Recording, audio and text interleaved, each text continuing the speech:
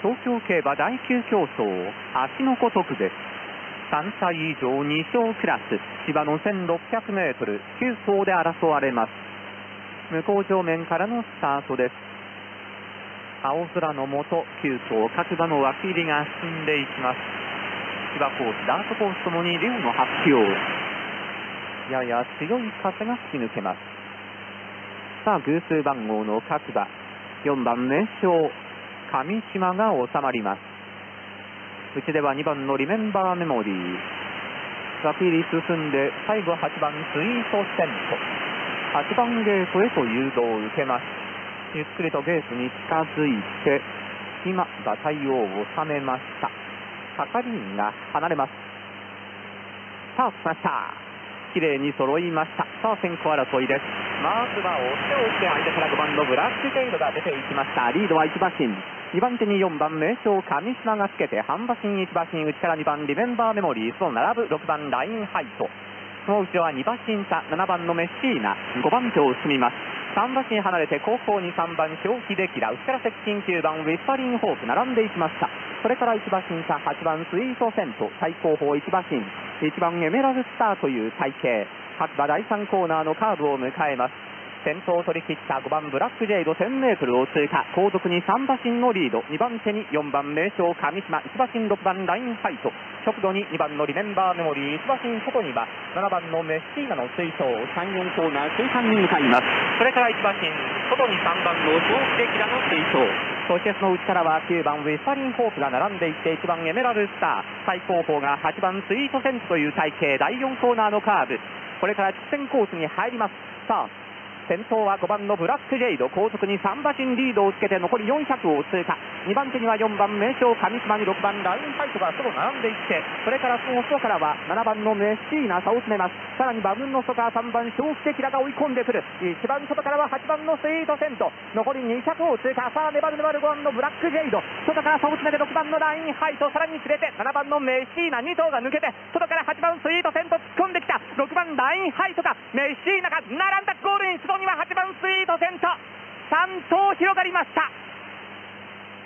最後3頭横に広がって外伸びた8番スイートセント。内が6番ラインハイト。そして間7番メッシーナ。ゴール前は3頭が広がっています。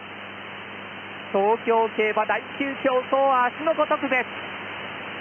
最後は3頭広がっての接戦。まずは6番ラインハイト。の下から並んできた7番メッシーナ。そしてその2頭をめがけて8番のスイートセント。最後この3頭が広がりました。トップモーションの映像が流れます。6番のラインハイトやや優勢でしょうか。外から8番スイートセント。中7番メシーナは3番手かと思われます。その後に3番表紙でキラ4番手の入店でしょうか8合計1分33秒6上がり4ハロン46秒13ハロン34秒4でした。1番すんなり6番8番7番東京競馬第9競争三浦特別3歳以上2勝クラス。ダートの 1400m16 走で争われます。向こう正面からのスタートです。枠井が順調に進んでいきます。最後16番ウィンウィクトス。これが向かいます。さあ促されて1番と16番ゲートへと誘導を受けます。ゆっくりと歩を進めて16番ゲートを収まりました。係員が離れます。さあ来ました。4番ケーチライト後方からさあ先行争いまずは3番のリュックスボリアが飛び出しますリードは体半分を押して押して8番クロッチが並んでいきました。1馬身タストカー13番バックスーム3番手に上がって3馬身内は1番鈴の吹雪もう外に12番カイヤモテさらに外から15番レジリエンスブルーも後位の直後に取り付きました。その内は2馬身3馬身と離れています。内から2番のプリマジア10番オメガドービルそのに11番バーンファッションに広がって1馬身16番のインリクトス内が5番のカシノブレンド。1馬身差その後ろに6番のフジノタカネが追走して2馬身9番ズリトル。総称14番ロースアルルージュ。内側7番ゼキに及ばず4馬身相手4番ケイティディライト 600m は36秒1で通過。3、4コーナー中間を通過して逃げる3番ルクスウォリアーリードは1馬身8番クロッチが2番手3番手に13番バックスーム内には1番スルノフブキの2頭の外に15番レジリエンスブルーと横に広がって4コーナーをカーブ直線へさらに外から11番バーンファッションそして6番のフジノタカネも追い上げてくる馬群の中に12番買い合わせ残り400を通過さあ横に広がって3番のルクソーリアが粘っている外からレジリエンスブルー間から8番のクロッチ3頭の直後にバックスーム4番手その後ろ狙って12 2番の買い合わせ。さらに外からぐんぐん差を詰めて6番の富士の高値が今度は前に迫ってくる。さあ後ろ粘る3番ルクソーリアー。そして間クロッチ。そしてレジリエンスブルー。間待って2番のフリマージャ突っ込んでくるがルクスウォリアが並んでゴールイン。ルクスウォリアーと2番のプリマジア最後並びましたが3番のルクスウォリアーを切れたか。2番のプリマジア際どく迫りました。ゴール前は横に広がっての接戦となっています。粘りに粘った3番のルクスウォリア。しかし馬群の中を割るようにして2番のプリマジアが最後並びました。さらにその争いには8番のクロッチも粘っています。外にはレジリエンスブルー。大外には6番の富士の高値ゴール前は大混戦となりました。さあ3番のリュクス・ウォリアーか2番のプリマジアかこの2頭です。外8番クロッチがどうやら3番手でしょうか。前2頭の争いは際どい。勝ち時計1分25秒1上がり4ハロン49秒03ハロン36秒1でした。ゴールの瞬間ターフビジョンにその瞬間が映ったんですがこれは分かりません、えー、2番のプリマジア単勝は4番人気6.0倍届いたでしょうか。東京競馬第11競争ジューンセークス。3歳以上3勝クラスハンデ戦。芝の 2400m11 頭で争われます。正面スタンド前からのスタートです。枠入りが順調に進んでいきます。トップハンデは8番アンジステイト57キロ最軽量2番エクセレントミスズ51キロ。ハンデ戦の準ステークス。枠入りは順調11番のシルバーソニックが最後に向かいます。1番と11番ゲートゆっくりと収まって全馬ゲートの中スカリーが離れます。スタートしました。ほぼ揃いました。さあ先行争いです。まずは5番のネプチュナイトいいスタート前に出てきます。の外から9番ワンダーこの種はさらに外からは11番シルバーソニック先団3頭が広がります。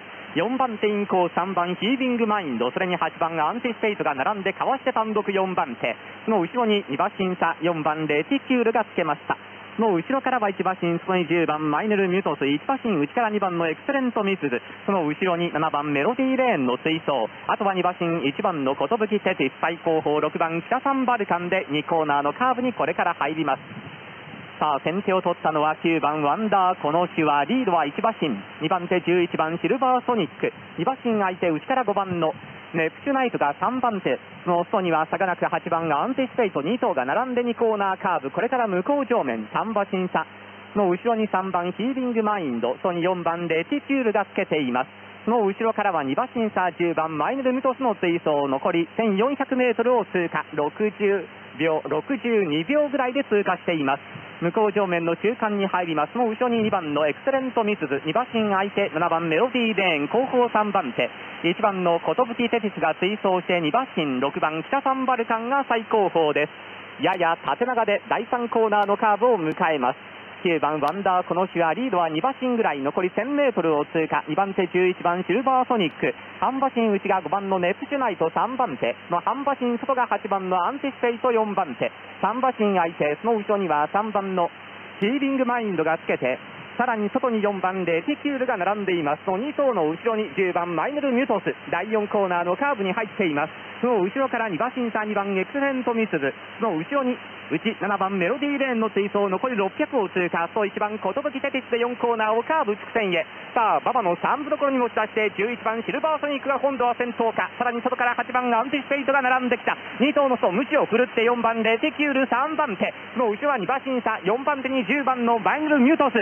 さあ前は3頭が固まってきましたがわずかに11番シルバーソニックに100を通過。8番アンティスペイトが並んでくる。さらに外からは4番のレティキュールその差は2馬身現在3番手。さあ2頭の争い。11番シルバーソニック。